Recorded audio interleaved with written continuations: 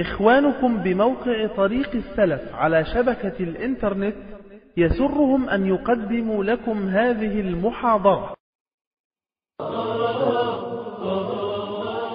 السلام عليكم ورحمة الله وبركاته. الحمد لله وكفى وصلاة وسلاما على عباده الذين اصطفى. الحمد لله عدد ما خلق. الحمد لله ملء ما خلق.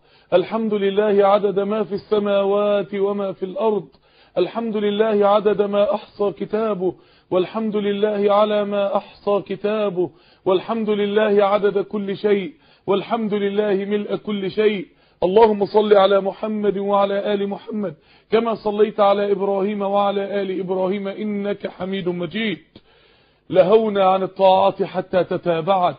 ذنوب على آثارهن ذنوب. فيا ليت أن الله يغفر ما مضى.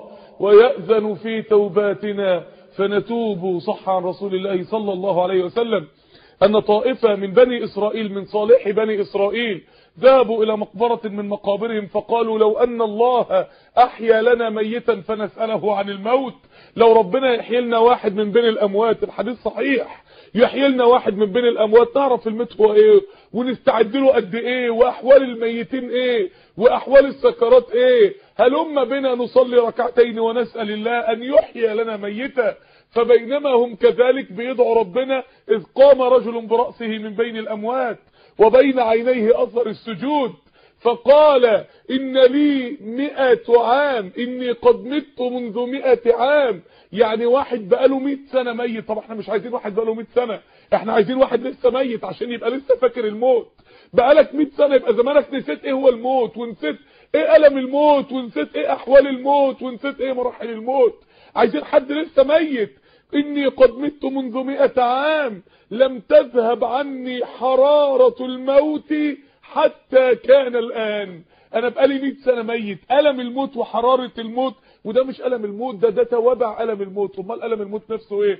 يعني خلع الدرس بيسبب ألم يومين ثلاثة عملية جراحية ألم أسبوعين ثلاثة. أمال عشرات السنين 100 سنة حرارة الموت لا تسكن. يبقى ما هذا الألم أصلا اللي ب 100 سنة حرارة لم تسكن دي توابع ليه؟ إخواني في الله عايزين نفتح الليلة ملف من الملفات الخطيرة جدا. ملف من الملفات المهمة جدا. ملف من الملفات اللي قبل رمضان محتاجين إن إحنا نقف مع نفسنا فيها. لأن إحنا عايزين نتكلم صيام وقيام يا جماعة. ونتكلم عن رمضان وهنتكلم عن القيام والعبادة والتهجد. بإذن الله سبحانه وتعالى وختمات القرآن والاعتكاف. طب استنى هنا.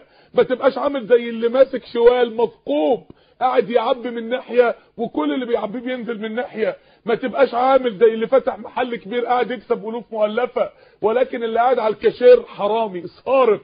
بدل ما يحط الفلوس في الخزنة بيحطها في جيبه. فالمنظر من بره إنه بيكسب ولكن الحقيقة هو ما بيكسبش. لأن المكاسب بتروح من ناحية تانية. عايزين يا جماعة نوقف نزيف الخسائر قبل رمضان. عايزين يبقى كفاية خسائر قبل رمضان.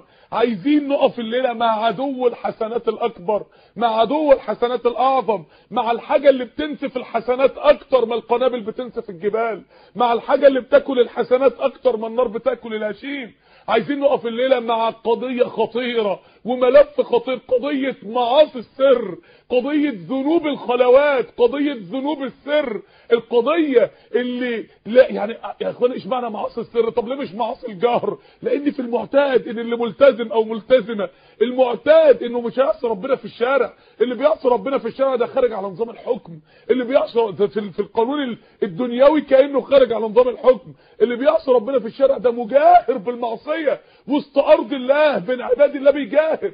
ولكن في الغالب اللي بيبقى عايز ربنا وعايز يوصل لربنا معاصيه كلها سر. فبيبقى من الظاهر كل الصورة بتاعته كلها مكاسب. ولكن ممكن يكون بيعمل في السر معاصي تضيع كل ده. إيه معاصي السر؟ وايه خطوره معاصي السر. يا إخواني يا إخواني لو في ملتزمين هيدخلوا النار والعياذ بالله هيدخلوا بسبب هذه القضية بسبب هذا الملف الخطير. دي القضية اللي بتنسف الحسنات نسف من على الميزان يوم القيامة. والعياذ بالله المشهد اللي إحنا هنبدأ بيه مشهد رسول الله صلى الله عليه وسلم عليه الصلاة والسلام لما يصدر قرار فوري باستدعاء الصحابة وباستدعاء المؤمنين. من أجل مهمة جهادية لا من أجل مهمة تعبدية. يعني مش خارجين نهجاهد يا رسول الله لا لا خارجين عشان عبادة لله سبحانه وتعالى. هنعمل إيه؟ هنروح نعتمر في مكة. نعتمر في مكة. يعتمر في مكة إزاي؟ يا رسول الله ده كان لسه الكلام ده قبل قبل فتح مكة يا جماعة. الكلام ده عامل حديبية يا إخواني. قبل فتح مكة إزاي يا رسول الله؟ قبل فتح مكة هنروح نعتمر في موسم الحج إزاي والعرب كلهم هناك دلوقتي عشان يحجوا. ده إحنا كده هنروح نتقتل مش هنروح نعتمر ده كده عملية استشهادية. ده كده مقتولين مقتولين ولا يستجيب لرسول الله صلى الله عليه وسلم رغم ان كان المسلمين ايامه كتير جدا إلا 1400 واحد بس. 1400 صحابي هم اللي يخرجوا وراه. يخرج ال 1400 يروحوا على مشارف مكة. الرسول يبعت سيدنا عثمان يتفاوض مع المشركين. يشاع إنه قتل. يقف تحت الشجرة. عليه الصلاة والسلام يبايع الصحابة على الموت على الموت. مين اللي مستعد يموت هنا عشان أخوه اللي قتل في مكة؟ إن كان عثمان فعلا قتل. أنا عايزك تتخيل معايا المشهد ليه؟ أنا عايزك تتخيل معايا الوقت عشان أبين لك خطورة قضية. معاصي السر. طب مال الكلام ده بمعاصي السر؟ أنا عايزك تتخيل واحد واحد لما كان الموضوع استشهادي هيخرج يعتمر في موسم الحج ومكة كانت ايامها دولة قوية جدا يعني مقتول مقتول. مكة مين اللي هتسيب حد يدخل يعتمر غصب عنها؟ تخيلوا يا إخواني المهمة كانت بالنسبة لتفكير الناس. بل ظننتم أن لن ينقلب الرسول والمؤمنون إلى أهلهم ابدا. دول لا يمكن هيرجعوا ابدا. تخيلوا واحد بايع على الموت تحت شجرة الرضوان. تخيلوا واحد من 1400 واحد نزل فيه سورة الفتح ويحصل الصلح ويرجع النبي عليه الصلاة والسلام. بعدها على طول يؤمر النبي عليه الصلاة والسلام ال 1400 واحد إن هم يخرجوا معاه لخيبر ممنوع حد تاني هيخرج لخيبر. ال 1400 بس يخرجوا يلاقوا هناك 10000 يهودي مدججين بالسلاح. متترسين بال... بالمستوطنات والحصون الحصينة بتاعت خيبر. يفضلوا فتح الحصن الأول 15 يوم. تصيبهم مجاعة يدخلوا الحصن الأول مفيش لا أكل ولا شرب. كله في الحصن الثاني هو والأكل والشرب والسراح. حصار الحصن الثاني في خيبر لو كان استمر أيام طويلة كان الصحابة ماتوا من المجاعة ده. إيه؟ أنا عايزك تتخيل معايا لحظة فتح الحصن الثاني بعد ثلاث أيام قتال. عايزك تتخيل والجيش كله داخل جيش داخل مدينة. جيش أبطال رجالة بايعوا على الموت ووقفوا في وش يهود خيبر 10 10000 يعني سبع أضعاف جيش المسلمين. 1400 واحد أبطال رجال اتحملوا المجاعة عشان الدين. منظر دخولهم الحصن الثاني على الأكل وعلى الشرب وعلى السلاح. ده بيجمع الطعام ده بيجمع الشراب ده بيجمع السلاح ده بياكل ده ده. وواحد من وسطهم اسمه عبد الله. صحابي اسمه عبد الله يقال من النعيمان. صحابي اسمه عبد الله يدخل عبد الله. عبد الله وهو بيدور وسط اللي بيدوروا في الجيش يدخل في مكان يلاقي فيه دينان الخمر. دينان الخمر براميل الخمر موجودة. طبعا ما حدش هيبص لها من الصحابة والكل بيجري ومحدش شايف حد يبص حواليه محدش شايفه. محدش داري بيه الخمر. المعصية القديمة اللي ياما وقع فيها. المعصية القديمة اللي ممكن حد فيها في الإسلام من بعد ما حرمت كمان. المعصية القديمة. تخيلوا يا إخواني واحد بيجاهد في وسط معركة. يعني مش واحد بيقول كلمتين عن ربنا يخرج يشوف المعصية القديمة يقع فيها. ده واحد بيجاهد. يقف عبد الله ويجافح نفسه ويجاهد نفسه ويبقى المعصية قدامه. يقينا حاول يقينا جاهد يقينا تماسك يقينا كان هيموت نفسه عشان ما يمدش إيده على الخمر ولكن في السر بدون ما يدرى أحد من الصحابة يمد إيده على كوس الخمر ولا يستفيق إلا والخمر قد استقرت في بطنه. ده مين؟ ده صحابي. ده على الموت. ده بايع الموت تحت شجرة رضوان ده خرج في خيبر. ده تحمل المجاعة من أجل الدين. عايز أقول إيه؟ عايز أقول إن قضية معاصي السر يا جماعة قضية خطيرة. قضية منتشرة. قضية ممكن تصيب حتى أشد الناس التزاما. قضية ممكن يقع فيها حتى أكثر الملتزمين والملتزمات. تمسكا بدين الله سبحانه وتعالى. قضية خطيرة ولازم يتفتح الملف بتاعها بالذات قبل رمضان.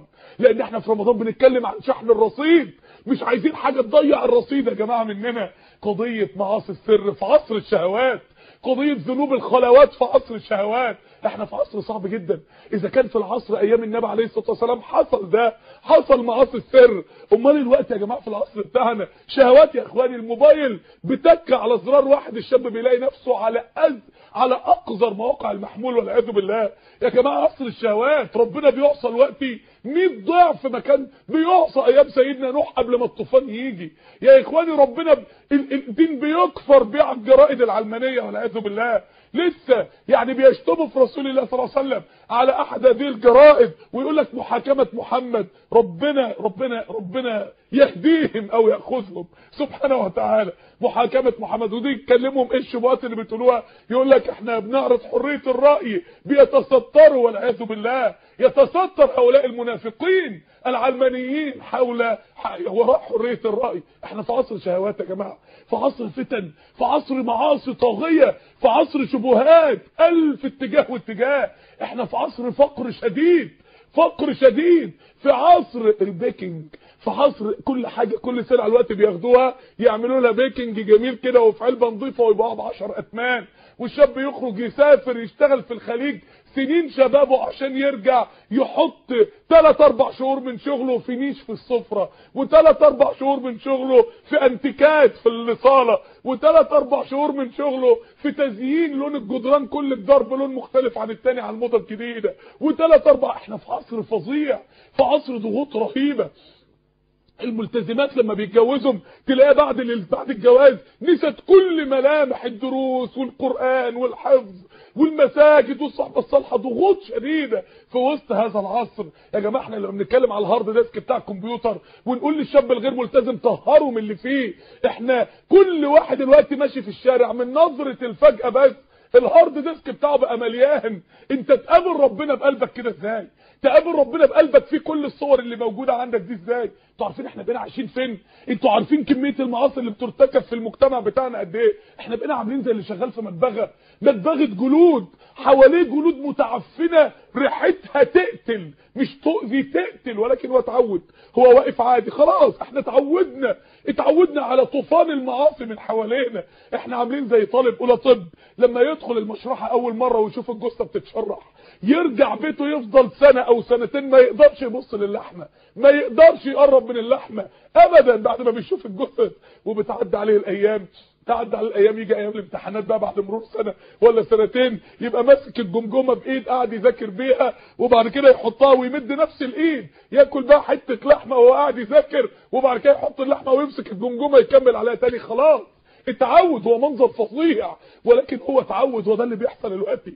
إحنا اتعودنا يا جماعة اتعودنا انما لو حد جه من زمان من ازمان الطاعة وشاف اللي بيحصل دلوقتي هيموت كمدا ونكدا ان الله بيوصى كل هذه المعاصي. فتح ملف قضية معاصي السر في عصر الشهوات.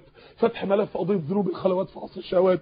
عاصي السر يا عاصي السر يا من ترتكب معصية سر على موقع نت على قنوات دش فاسدة معصيه سر من خلال محمول أحيانا ممكن يكون شباب دلوقتي قاعدين بيتفرجوا والمحمول بتاعه لو اتحاسب عليه بس قدام ربنا على اللي فيه وعلى اللي متحمل عليه الله أعلم هيروح فين. ممكن تلاقي الشباب بيدخلوا خطبة الجمعة والمحمول بتاعهم لو لو بس يعني لو لو الصور اللي فيه حسبوا عليها الله أعلم هيذهبوا فين. قضية معاصي السر قضية معاصي السر قضية ذنوب الشهوات قضية المعاصي اللي ممكن استترت عن الخلق كلهم. بيها ولكن الله يراك عليها ويعلم ما فعلت فيها. الخسائر إيه؟ يا ترى إيه الخسائر يا جماعة؟ إيه الخسائر؟ عاصي السر ده بيخسر إيه؟ الفواتير اللي هيدفعها الخسارات الفادحة عشان نقدر نتخيل خطورة القضية. في بلد من البلاد الإفريقية في غانا صاعقة نزلت صاعقة في البر في, في, في الرعد والبرق نزلت حرقت كوخ من الأكواخ حولته فحمة. فلما رأوا ما بداخله لقوا يعني واحد واحدة كانوا في زنا والعياذ بالله. يعني اشمعنى أصابت هذا المكان بالذات؟ سوء الخاتمة. من آثار معاصي السر سوء الخاتمة. من فواتير وخسائر معاصي السر فضيحه الدنيا. اسمع إلى رسول الله صلى الله عليه وسلم. وهو يقول وإن العبد لا يعمل إن العبد لا يعمل بعمل أهل الجنة فيما ترون فيما ترون يعني في اللي الناس شايفاه فيما ترون قدام الناس بس حتى ما يكون بينه وبينها إلا ذراع. خلاص بينه وبين الموت أيام ويبقى من أهل الجنة ده فيما ترون. فيعمل بعمل أهل النار فيدخلها. العلماء قالوا إيه؟ قالوا ده واحد قدام الناس بيقدر يمسك نفسه ولكن أول ما بيخلو بينه وبين نفسه بيقع في المعاصي وينتهكها فبقى حياته مقسومة نصين نص قدام الناس ما يعرفوش عنه غير الطاعة ونص ما حدش داري عنه حاجة كله معاصي لله فلما جاء الموت غلبت عليه المعصية فمات عليها ففضح أمام الخلق أجمعين والعياذ بالله. أبى الله إلا أن يفضح إلا أن يفضح من نافقه من عصاه نفاقا حتى على فلتات لسانه. والعياذ بالله إخواني في الله قضية معاصي السر قضية الجزاء من جنس العمل قضية إن هو حاول يستتر بالمعصية عشان بيستتر عشان ما حدش يشوفه عليها وقدام الناس عامل نفسه الإنسان المثالي و و فيفضح أمام الناس والعياذ بالله كأنه جزاء من جنس العمل لأنه جعل الله أهون الناظرين إليه والعياذ بالله كأنه جزاء من جنس العمل. الحياة كلها ماشيه على قانون الجزاء من جنس العمل. الحياة كلها سواء في الطاعة أو في المعصية. في المعصية الواحد ياما شاف قصص مفزعة في الجزاء من جنس العمل. أحد الناس كان مرة في محل يعني في المحل بتاعه فيعني اتنين بيتشكلوا بره هذا المحل في هذه المدينة فواحد من شدة الغضب طلع مسدس وضرب الثاني بالنار الرصاصة طاشت فواحد بيفتح المحل بتاعه وبيخرج بيمد راسه بيشوف فيه إيه؟ الرصاصة قامت طاشت عن ال... عن عن اللي اتضربت فيه وجت في رقبة هذا الرجل في العمود الفقري بتاعه في رقبته. طبعا كل الأعصاب اللي نازله للجسم اتقطعت من من النخاع الشوكي جابت له شلل رباعي. فواحد راح لأحد العلماء في هذه المدينة قال له أنت قاعد تقول انت, انت ليه ربنا يبتلي هذا الرجل بهذا الابتلاء؟ ليه هذا الراجل راجل غلبان؟ راح يسترزق ويشوف رزقه يمد راسه تيجي الطلقة في رقبته تجيب له شلل رباعي. يقول ذلك العالم ان في نفس اليوم واحد زاره. فبيحكي له عن واحد في نفس المدينة ديت كان مستأمن على مال يتامى ولما جه ميعاد سداده ما رضاش يأديه. بيقول له امبارح الساعة 9 بالليل كان في جلسة مع هذا الرجل عشان يقنعوه الناس إنه يرجع مال اليتامى ليهم. ما رضاش وأنكر ان له ان لهم مال عنده. فلما استقصوا الأحداث إذا بذلك الرجل اللي كان مال اليتامى هو نفسه اللي كان بيمد رأسه من المحل وتأتي الرصاصة في النخاع الشوكي عنده وتجيب له شلل رباعي والعياذ بالله. شلل الرباعي يا إخواني ربنا يعافي كل مريض يا رب. ربنا يعافي كل مبتلى. ربنا يشفي كل مريض مسلم. لأن الابتلاء طبعا ليس دائما انتقام ولكن يعني هذه الحالة كده هذا هذا المرض يا جماعة اسمه الفقرة هو فقرهم هو فقر هؤلاء اليتامى. فكان الجزاء من جنس العمل يعني في يعني في أحد الأحداث والدنيا مليانة بعجائب بتثبت قد إيه الجزاء من جنس العمل. واحد يعني كان كثير ما يمد إيده على مراته كان بيضربها ضرب شديد جدا. وفي ناس يعني يعني في ناس مفترية حسبنا الله ونعم الوكيل. فمرة وهو بيضربها ضرب فظيع ضربها ضربة قاتلة قتلها. فهو في البيت لوحده ومراته اتقتلت. هو مش عارف يعمل إيه ماتت قدامه. هيودوه هيروح في داهية. هيتسجن هيتعدم هيحصل فيه إيه؟ فراح لحد من الناس الكبار اللي هو يعني إيه دايما أهل السوق بيتلموا على بعض. قال له أنا مش عارف أعمل إيه؟ أنا أنا يعني اصغر له مراتي الوقت اتقتلت. ما وقفت في البيت. أعمل إيه؟ قال له بسيطه قال له بسيطه إزاي؟ قال له أنت تستنى لغاية ما تلاقي أي شاب جميل وسيم كده وبأي حيلة تدخله بيتك. وأول ما يدخل تقتله وتحط جثته جنب جثتها. وبعد كده تنادي في الناس إنك دخلت لقيت مراتك مع هذا الشاب. فقمت قاتل. فقمت قاتلهم هما الاثنين وتبقى أنت طلعت منها. الراجل من شده فرحه ما صدقش. راح وقف عند البيت. قاعد يدور على أي شاب جميل وسيم عدى شاب بهذه المواصفات طلعت روحه عما تحايل عليه يدخل البيت. وأول ما دخل البيت فعلا انقض عليه وقتله ورمى جثته جنب جثة زوجته. ثم كانت النتيجة طبعا إن الناس كلها بقى بتلعن زوجته وبتشتم في مراته وبتشتم في هذه الإنسانة الفاسدة المتهمة ظلما. فماذا كانت الأحداث يا إخواني؟ يفاجئ الراجل اللي نصحه بهذه النصيحة إن هذا الشاب اللي اتقتل ده هو ابن الراجل اللي نصحه بالنصيحة ده هو ابن ذلك الرجل الكبير اللي قال له افعل هذه الفكرة كأن والعياذ بالله سبحان الله شايفين الجزاء من جنس العمل. تخيلوا الراجل ده لما يعرف يتجن ولا يعمل إيه ولا يموت من القهرة ولا يعمل إيه ده مش هيقدر ينطق ولا يقول أصلا. تخيلوا يا اخواني هذا الرجل هذا الرجل اللي اشار عليه بهذا ابنه هو اللي يتقتل بهذه الطريقة وابنه هو اللي يقتل في هذا الامر. الجزاء من جنس العمل احد الناس كان يعني دايما يؤذي الملتزمين بالذات. وكان كل ما يعدي اتنين ملتزمين كده يرمي عليهم القمامة. هو كان متعودين منه لازم يعني كأن الزماله بتاعت بيتهم بيعينها عشان الاثنين دول. يرميها عليهم يرميها عليهم يرميها عليهم. سبحان الله كيف مات هذا الرجل؟ الراجل ده كان ماشي تحت بيته ماشي تحت بيته. ويعني واحدة من قريباته في في البلكونة بتاعتها كيس قمامة تقيل تقيل قوي يعني. وبترميه من البلكونة كما يفعل. يعني بعض الناس للأسف ترميه البلكونة ينزل على رأسه يقتله فيموت بالقمامة زي ما كان بيؤذي يعني عباد الله الصالحين أو الذين نظنهم صالحين بمثل هذا الأمر. يعني الخسائر بتاعت معاصي السر يا جماعة. نرجع تاني للقضية بتاعتنا. قضية معاصي السر الجزاء من جنس العمل. اللي بيعصي في السر يفضح في العلن. يفضح في العلن خسائر معاصي السر. فواترها. فواترها فواترها في النار. كما صح عن رسول الله صلى الله عليه وسلم. يؤتى برجل يوم القيامة فيلقى في جهنم. فتندلق اقطاب بطنه والعياذ بالله مصارينه امعاءه احشاؤه تطلع بره تطلع بره بطنه فيدور بها يفضل يلف حواليها كما يدور الحمار في الرحى فيجتمع إليه أهل النار يقولون مالك أهل النار؟ مذهولين أصلا لأنه بيتعذب عذاب هم نفسهم ما بيتعذبوهوش. مالك أنت يحصل فيك كده. أما كنت تأمرنا بالمعروف؟ أما كنت تنهانا عن المنكر ده أنت كنت أنت اللي بتوعظنا إزاي يتعمل فيك كده. فيقول لهم كنت آمركم بالمعروف ولا آتيه وأنهاكم عن المنكر وآتيه. هم كان بيأتي المنكر في السر بدليل إنهم ما عرفوش أصلا. ما عرفوش إنه بيأتي المنكر إلا في النار. فضح بين أهل النار. يمسخ إلى حمار والعياذ بالله أو يمسخ حاله إلى حال حمار. وهو في جهنم بسبب معاصي السر. بسبب معاصي السر قال تعالى وقال الشيطان لما قضي الأمر إن الله وعدكم وعد الحق ووعدتكم فأخلفتكم وما كان لي عليكم من سلطان إلا أن دعوتكم فاستجبتم لي. عمرك شفت خمس شياطين ماسكين ولد وبيجرجروه عشان يقفل الأوضة عليه ويفتح مواقع سيئة على النت.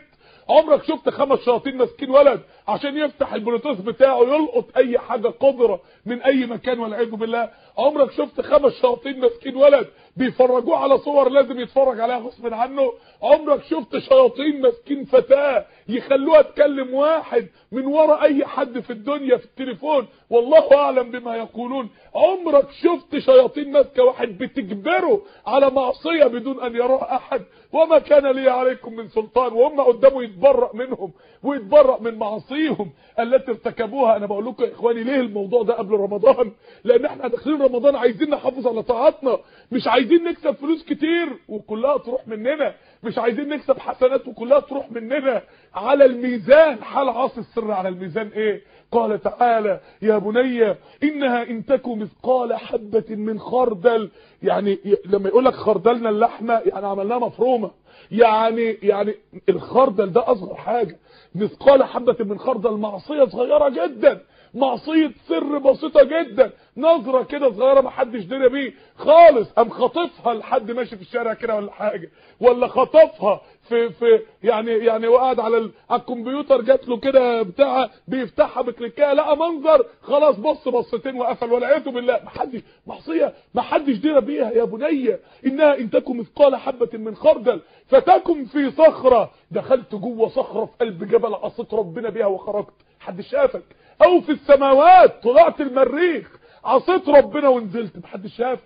أو في الأرض رحت في جزيرة في وسط محيط أو في غابة أو في صحراء في قلب صحراء ما حدش شافك عصيت ربنا وجيت. يا بني إنها إن تكن مثقال حبة من خردل فتكن في صخرة أو في السماوات أو في الأرض يأتي بها الله على الميزان.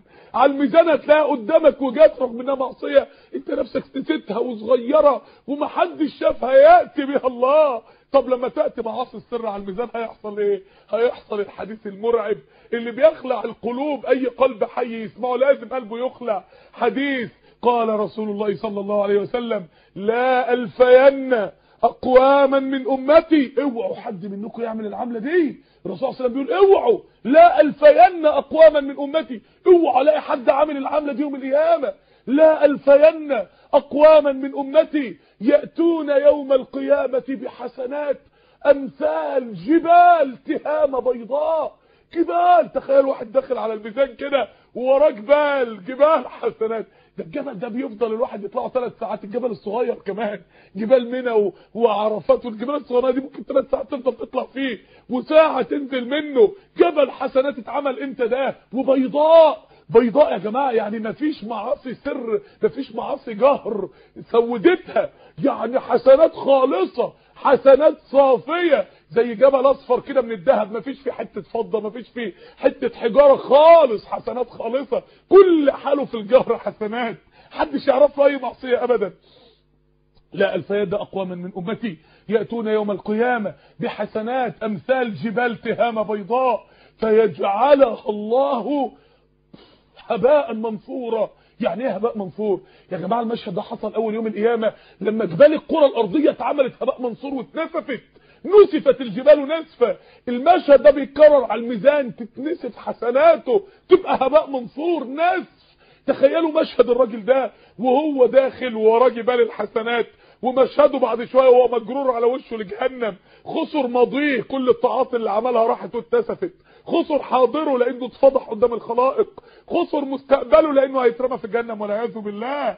فيجعلها الله وباء منثورا. الصحابة اترعبوا. سيدنا ثوبان قال للنبي عليه الصلاة والسلام يا رسول الله صفهم لنا جلهم لنا. اوصفهم لنا يا رسول الله بقمة الوضوح. عرفنا دول إيه يا رسول الله؟ جلهم خليه حاجة جالية قدامنا. جلهم لنا لا نكون منهم ونحن لا ندري.